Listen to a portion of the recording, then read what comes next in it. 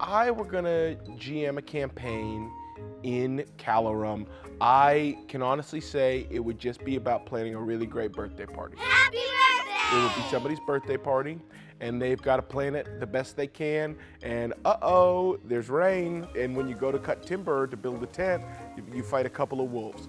That's it. It's nice and chill. Given how traumatized I feel right now, I would run Lou's birthday party. I would kick him out of the chair and be like, no, I get the gentle one.